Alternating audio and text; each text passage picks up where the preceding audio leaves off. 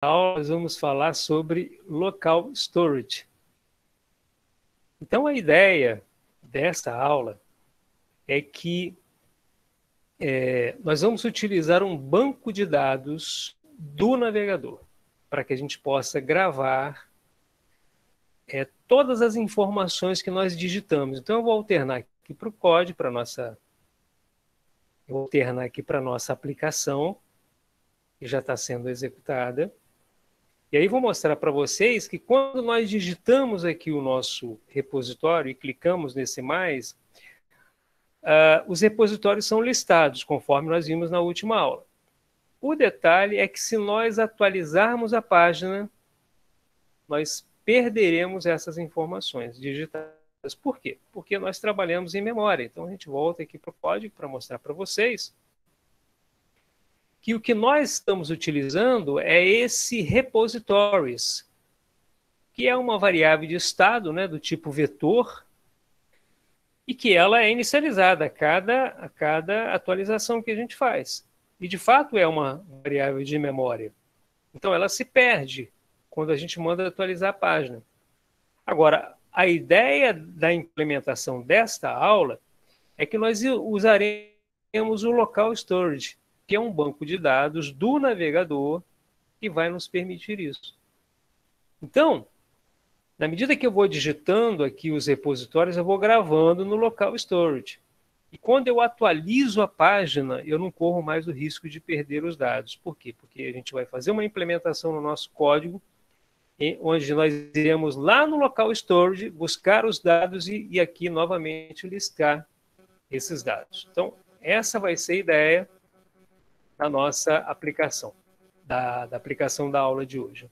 Então, agora vamos aqui, nós vamos seguir o nosso passo a passo, né, para a gente não esquecer nenhum detalhe, e a gente vai alternando para o código, eventualmente nós vamos mostrando lá na, na, na aplicação, execução na aplicação. Então vamos lá.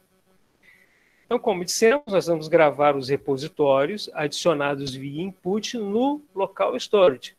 Nós vamos gravar lá no banquinho de dados o banquinho de dados do nosso navegador. Dessa forma, quando atualizarmos a, a página, as, as informações dos repositórios informados na entrada de dados, elas não serão perdidas. E aí é que nós utilizaremos um hook para isso, o use effect.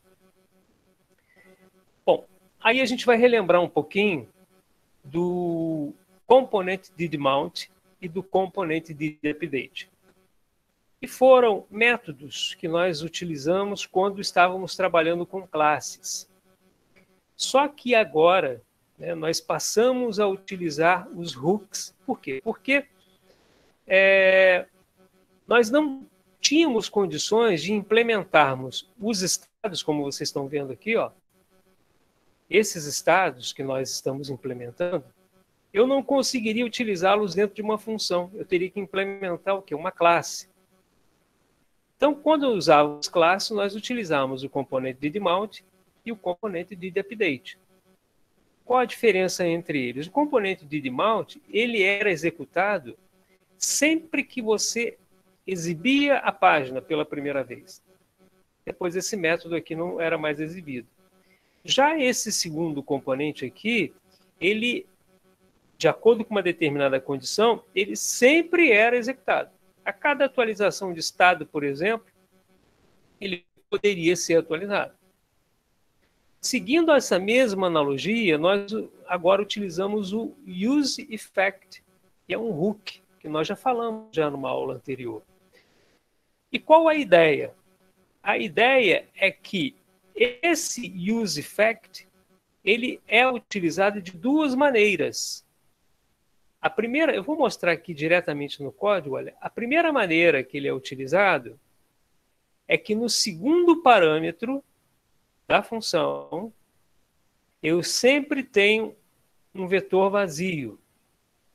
O segundo formato de utilização dessa função, o segundo parâmetro, ele é representado por alguma coisa que considere uma atualização necessária para a nossa página.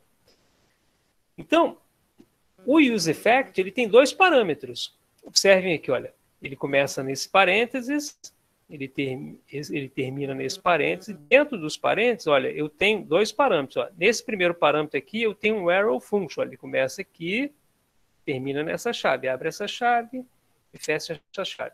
O segundo parâmetro vem depois da vírgula, olha, esse colchete em branco. Já nesse segundo formato de uso do use effect, observem que eu tenho uma arrow function como primeiro parâmetro e o segundo parâmetro eu tenho aqui os repositories que representa a minha variável de estado, variável de estado. Ou seja, qualquer mudança nesse estado, ele vai provocar o quê? A execução desse método. Essa é a ideia. Dessa mesma forma, nós fazíamos com o uso de classes e nós utilizávamos o componente did mount e o componente did update. Como eu já disse para vocês, nas implementações em React, é muito comum a utilização dos hooks. Não é tão usual o uso de classes. Ao contrário, na construção de APIs, lá na parte do back-end, é comum utilizarmos classes. Tá? Então, é interessante que a gente conheça todo esse universo de desenvolvimento JavaScript, na verdade, né? porque tudo aqui é JavaScript, tudo gira em torno de JavaScript. Tá? Bom, então é o que nós dizemos, né? que, que nós, o que nós implementávamos anteriormente. E eu coloco aqui o detalhe da diferenciação né, do uso do use effect do componente de mount. E aqui a gente apresenta a implementação que nós fizemos em todo o nosso código. Eu vou novamente repassar aqui, olha, essa parte onde eu digo que no nosso componente aqui, ó, no main, né, no index, nós implementamos entre as linhas 15 e 24, olha, entre as linhas 15 e 24, nós implementamos o use effect. Tá? E ele, o use effect, ele vai servir exatamente para nós implementarmos a ideia dessa, dessa aplicação, que é carregar do local storage, que é o que? O banco de dados. Eu vou carregar lá do nosso banco de dados as informações gravadas e eu vou utilizá-lo também para salvar os dados. Tá? Então, quando eu estou com a minha aplicação aqui rodando, veja bem, é, vocês observem que na aula anterior, quando eu atualizava a página, eu perdi os dados. Não aparecia mais nada. Agora não. Eu, como já fiz uns testes anteriormente, quando eu iniciei essa aplicação, automaticamente ele já mostrou um repositório que estava gravado no local storage, que é esse banco de dados aqui do meu do meu Chrome, né, no meu navegador, certo? E se eu digitar um outro código, a gente vai mostrar isso daqui a pouquinho, ele vai adicionar aqui na nossa listagem, né, naquele componente list que nós falamos na aula passada. E se nós atualizarmos a página, aquele novo repositório digitado ele não será perdido. Ele novamente será recuperado, porque ele foi gravado lá no nosso banquinho de dados. Então, essa é a ideia da implementação do use effect, compreendido entre essas linhas 15 e 24. Então, vamos lá, vamos seguir aqui com a explicação. É, então, a gente coloca aqui, ó, o segundo método, use effect, que é esse da linha 22, né, que tem aqui o repositories, né, ele será executado a cada renderização. Cada, cada mudança de página, cada, cada, cada momento em que nós apresentarmos alguma coisa na tela, né, que a gente chama de renderização, ele vai ser executado. Esse métodozinho aqui vai ser executado. É, conseguirá acessar as atualizações que ocorrem no estado. Neste método, passamos repositórios dentro do vetor para indicar que o estado do repositórios foi alterado em relação ao estado atual de repositórios. Se a informação foi atualizada, utilizamos local storage, set item, repositories, e aqui nós usamos esse JSON.string stringify, né, repositórios, onde passamos um JSON de string, stringifa, né? de repositórios, pois ele não aceita arrays, aceita somente strings. Então, o que, que a gente quis dizer com isso? Olha, observem que nessa função useEffect, nós passamos para dentro do local storage, nós utilizamos o método setItem para nós passarmos para dentro deles o nosso repositório. Só que é, esse repositório, o, o local store, ele tem que receber isso como uma string. Ele não pode receber num formato JSON tradicional de objetos. Então, para a gente poder fazer essa conversão, nós utilizamos esse métodozinho string gif, né? gify. Não sei se é exatamente essa pronúncia. Tá? Porque ele transforma isso numa string e aí ele consegue adicionar esse nosso repositório dentro do local storage. Então, a cada digitação, a cada mudança, o que, que ele vai fazer? Ele vai houve uma mudança no estado. Por quê? Porque foi adicionado, ele foi o, na verdade, recapitulando um pouquinho da aula passada, esse repositório é sempre recriado. Né? Ele, ele copia o conteúdo anterior e recria os valores. E para isso a gente usa esse set repositório. Mas quando há essa alteração, há uma mudança de estado. Então, essa mudança de estado sinaliza que eu tenho que executar aqui o use effect. E aí, naturalmente, ele vai pegar o valor atual do repositório e vai jogar para dentro do local storage, que é o nosso banco de dados. Dessa forma, eu mantenho todos os dados digitados gravados no meu, no meu banquinho de dados local storage. Tá? Então, essa é a ideia. Bom, e no primeiro método useEffect, né, porque esse aqui, ó, a gente falou desse, segundo, agora vamos falar do primeiro, definido, fizemos o quê? Nós criamos essa constante stored repositories que recebeu o local stored get item repository. Ele recebeu esse dado. Agora, observe um detalhe interessante. Nós inserimos um if para que, se houver alguma informação no local storage, na primeira renderização, e este método será executado apenas na primeira renderização, a gente viu isso, né? A parte conceitual, será preenchido o repositórios com esse mesmo JSON.parse repositories.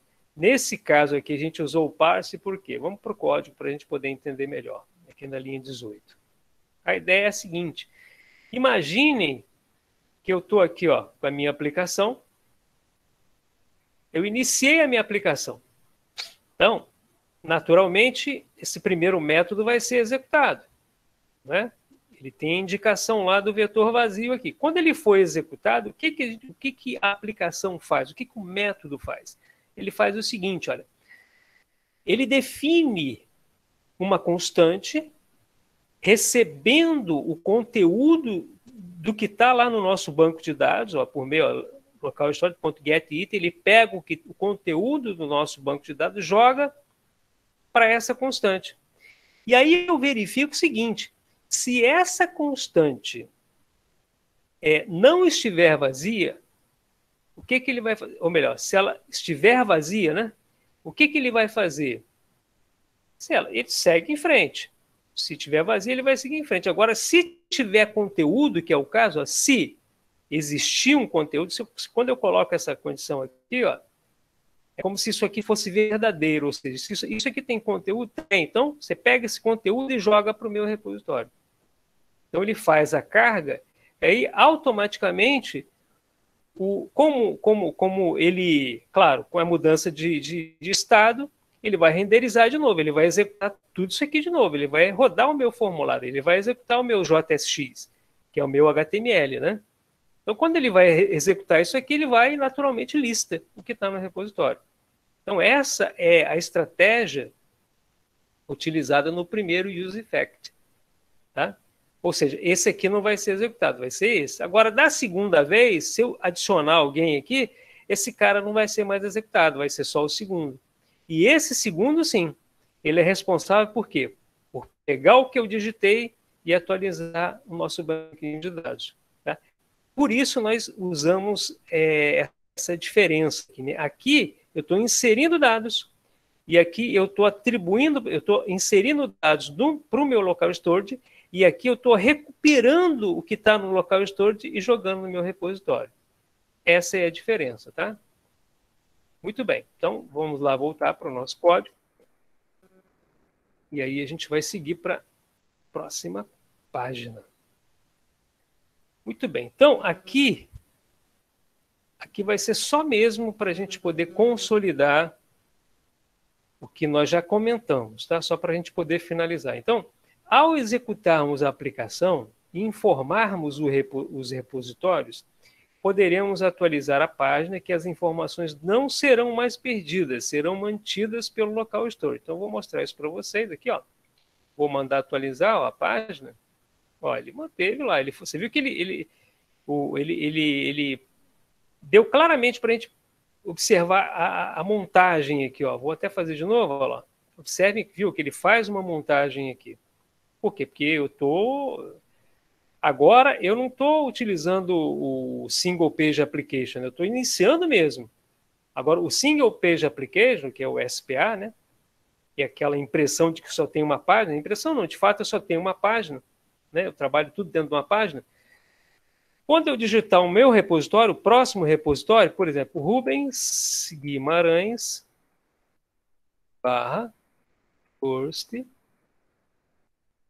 é um dos repositórios que eu tenho, project, React, quando eu faço isso, quando eu mando adicionar, observem que não vai dar mais, ele não vai atualizar mais a página, olha. Tá? Vocês viram que não mudou nada, ele simplesmente adicionou aqui o meu outro repositório. Então, é, se eu atualizar de novo, o que, que ele vai fazer? Ó, a aplicação começa de novo, só que esse começar de novo, o que, que ele vai fazer? Ele vai executar esse método, né, que é executado, porque o segundo parâmetro é vazio, esse use effect, e aí o que, que ele faz? Ele vai lá no banco de dados, ele limpa aqui, óbvio que ele vai limpar isso aqui, só que ele vai lá no banco de dados lá no local storage e eu uso esse parse para poder pegar esses dados e jogar para dentro do meu vetor, que é o meu estado, repositórios. Automaticamente ele vai e renderiza e exibe a nossa página. Quando eu acrescento um próximo, aí ele já vai executar esse, esse segundo método. E apenas adiciona ao meu local storage o que foi digitado lá no, no, na tela, no nosso input né, que foi alimentado, no repositório que foi reconstruído. Como há mudança de estado, novamente é feita a renderização, é executado novamente aqui, olha, esse return, né? Ele executa o nosso HTML, JSX, e aí ele vai sempre é, utilizando o recurso do SPA, Single Page Application, para poder adicionando os outros elementos aqui e a nossa listagenzinha que nós comentamos na última aula, ela funciona legal. Ó. Ele vai estar tá sempre varrendo o nosso repositório e listando a página. Tá? Essa é a ideia. Então, aqui eu digo, olha, ao iniciarmos a aplicação, o container com a listagem dos repositórios informados iniciou vazio. Após inserirmos três repositórios acima, podemos atualizar a página que as informações digitadas serão mantidas. Tá? Então, isso aqui eu já falei, já comentei bastante. Tá? E com isso, é, nós concluímos essa aula, recapitulando aqui rapidamente, aula em que nós apresentamos o uso de um banco de dados do navegador, que é o local storage, dentro da nossa aplicação. Isso é muito comum, isso é muito utilizado. Eventualmente, vocês podem criar alguma aplicação que seja necessário utilizar o navegador como um banco de dados auxiliar, para, em algum momento, ser útil à, à nossa aplicação. Então, com isso, nós vimos aí a utilização do local storage.